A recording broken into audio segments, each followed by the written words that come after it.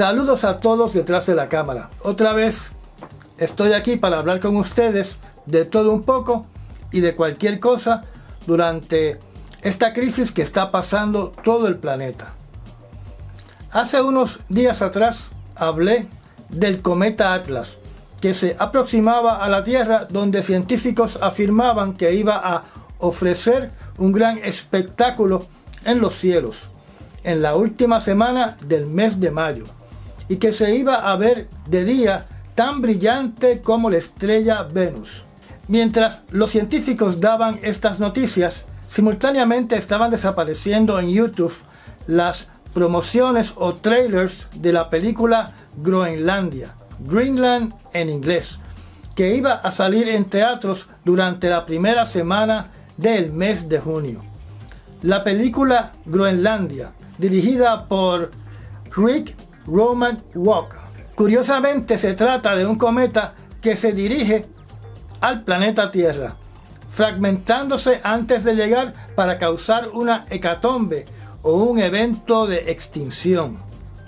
En el trailer se ven escenas de lluvias de astillas de este cometa causando destrucción. Se ve el cielo en llamas y el evento final, que es la colisión del pedazo más grande de este cometa en el mar al este de Groenlandia. Es un misterio de el por qué el trailer fue removido. ¿Será para no causar pánico? ¿Será porque no vale la pena estrenar una película si la población del mundo está en cuarentena? Y por ende, solo puedo asumir de que van a hacer el estreno de esta película en algún momento en el futuro para aumentar al misterio, a la casualidad, al sincronismo. El cometa Atlas se acaba de romper en pedazos como el de la película que acabo de mencionar. Pero no se preocupen, que Atlas va a pasar a 58 millones de millas de la Tierra, que es como 20 millones de millas más lejos que cuando Marte está más cerca de nosotros. Así que no hay que preocuparse por nada.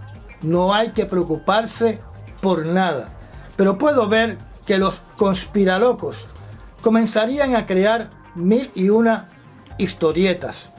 Los científicos dicen que al romperse el cometa Atlas en pedazos, esto a su vez va a anular el espectáculo que nos iba a ofrecer a finales del mes de mayo y dudan que sobreviva su vuelta alrededor del Sol. O sea, que es un cometa que está muriendo.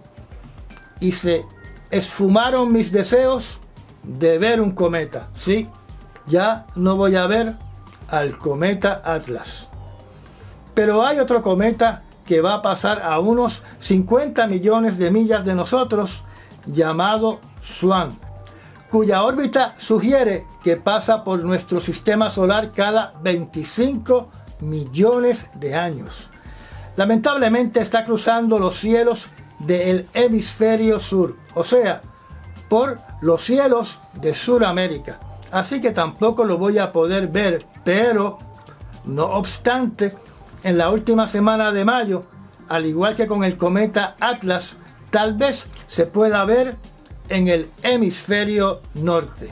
Así que en resumen, tenemos una película apocalíptica de un evento de extinción de un cometa que se fragmenta y se estrella contra la Tierra, en el mismo momento de que un cometa llamado Atlas también se fragmentó, que va a pasar a más de 50 millones de millas de la Tierra. Y simultáneamente tenemos a otro cometa llamado Swan, que también nos visita después de 25 millones de años y también va a pasar a más de 50 millones de millas de nuestro planeta.